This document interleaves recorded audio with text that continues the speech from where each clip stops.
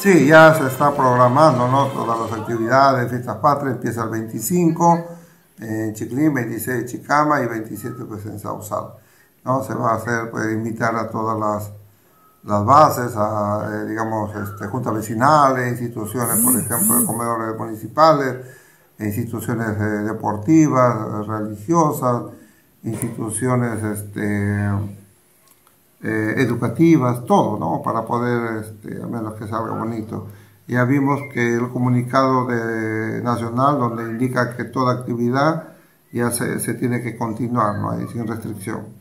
Claro, ciertamente ya hemos podido observar a esa hora de la mañana eh, la decoración de la Plaza de Armas de Chicama, hemos podido apreciar las banderas que ya se están colocando. Sí, falta también arreglar la pérgola, ¿no? Colocarle pues este lugares donde se va a recibir a, las personas, todo para que salga bonito esto, ¿no? Y es un, un día de al menos este mes de unión, de patriotismo, para que todos pues nos involucremos para que las cosas salgan bien. Tras este comunicado, eh, ya está el al 100% que se va a poder realizar los izamientos. Sí, ya este, ayer justo en el noticiero salió de que se podía, que no iba a haber restricciones respecto a las actividades por fiestas patrias.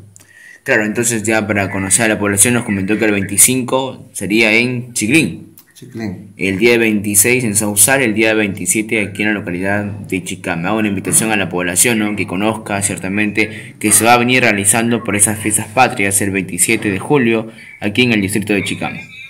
Sí, eh, son tres días este, en diferentes centros poblados Aún falta coordinar todavía con Luz del Sol también porque tenemos que eh, hablar con ellos y ver el día si es posible que sea pues el día 24. Estamos todavía en coordinación respecto a ello.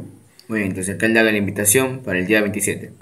sí, de todas maneras aquí tenemos que estar todos unidos. 24 Luz del Sol, 25 Chiclín, 26 Chicama y 27 Sausal.